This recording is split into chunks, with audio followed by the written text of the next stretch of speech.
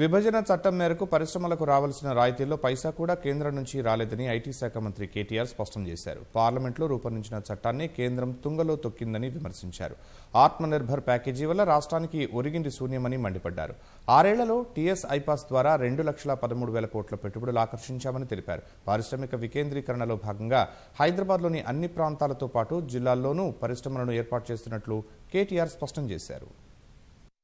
ప్రత్యేకమైన రాయితీలు special incentives will be given to both the states ఇటు తెలంగాణకు అటు ఆంధ్రాకు రెండింటికి కూడా ప్రత్యేక పారిశ్రామిక రాయితీలు ఇస్తామని చట్టంలో చెప్పినా ఈ రోజు వరకు ఆరున్నర సంవత్సరాల వరకు కూడా అనా పైసా సహాయం కూడా కేంద్ర ప్రభుత్వం చేయలేదనే మాట తమరి ద్వారా గౌరవ సభ్యులకు నేను తెలియజేస్తా ఉన్నాను అధ్యక్ష. దురదృష్టకరం వారు పార్లమెంట్లో రూపొందించిన చట్టాన్ని వారు తుంగలో దొక్కుతా ఉన్నారు. ఇది వారికి మంచిది కాదు. మనం చాలాసార్లు అప్పీల్ చేశాం అధ్యక్ష. చాలాసార్లు కోరాము నివేదికలు కూడా ఇచ్చినాము. ఏ రకంగా మన రాష్ట్రంలోని పరిశ్రమలను ఆదుకోవచ్చో కూడా చాలా వివరంగా చెప్పాం. కానీ ఇప్పటి వరకు వారు చేసింది మాత్రం పూజ్యం. తాము చేసిన చట్టాన్ని తామే దయచేసి వారు ఆనర్ చేయాలని చెప్పి కూడా తమరి ద్వారా నేను కేంద్ర ప్రభుత్వ పెద్దలకు కూడా విజ్ఞప్తి చేస్తా ఉన్నాను. ఆరు నెలలుగా వివిధ సందర్భాల్లో పారిశ్రామికవేత్తల్ని వివిధ సందర్భాల్లో చిన్న సూక్ష్మ తరహా మధ్య తరహా పారిశ్రామికవేత్తల్ని చిన్న చిన్న బిజినెస్ మెన్ని కలిసే క్రమంలో అడుగుతా ఉన్నాం అధ్యక్ష.